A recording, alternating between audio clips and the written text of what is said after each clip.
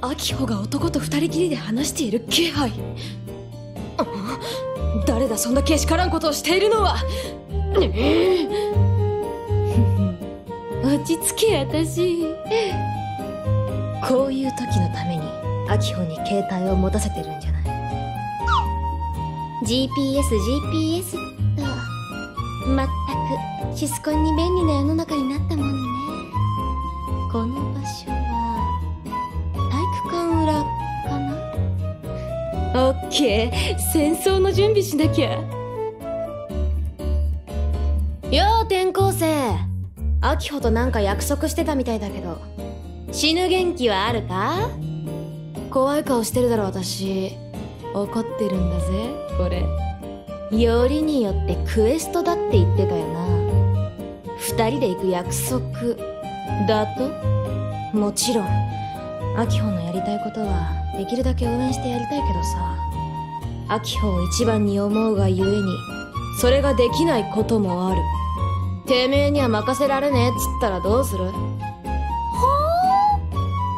あいい度胸だ。秋穂を尊重して今は何もしないでおいてやる。だけど見てるからな。ずっと見て。何かあったらすりつぶしてやる。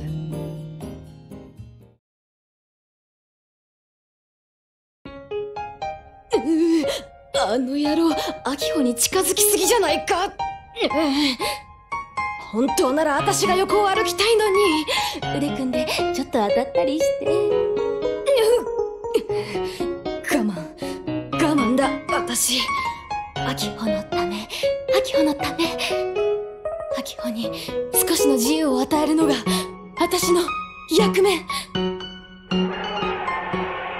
ああれが秋穂のクエストの討伐対象か。うん。やっべ。あれはちょっとシャレにならんわ。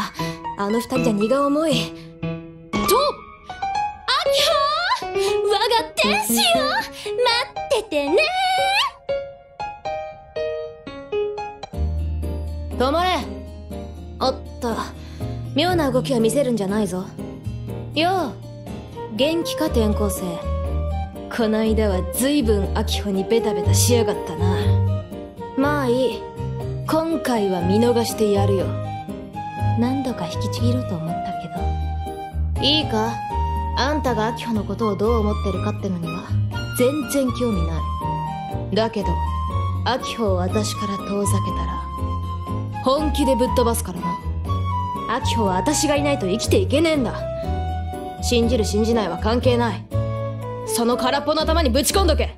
秋穂を絶対に私の前から連れ去るな。それさえ守れば話すくらいは好きにしろ。だが1メートルだ。